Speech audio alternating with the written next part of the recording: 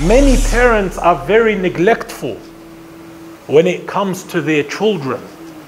They will put an extreme effort into his worldly affairs, which is okay. But it is not okay when the most important aspect of his life, his deen, is neglected.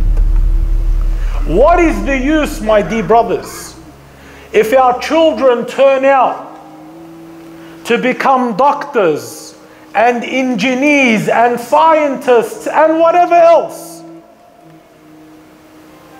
if there is no foundation of Iman in their hearts? What do you think this is going to benefit you as a Muslim, as a parent in the hereafter? On the contrary, it will only earn a punishment. Because the Prophet said,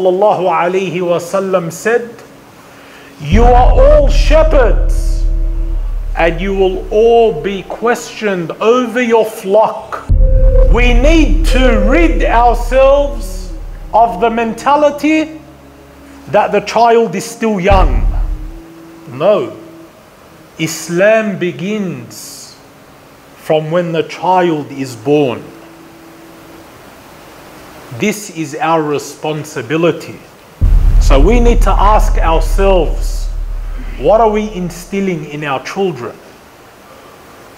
Which direction are we leading them? Our children are our responsibility.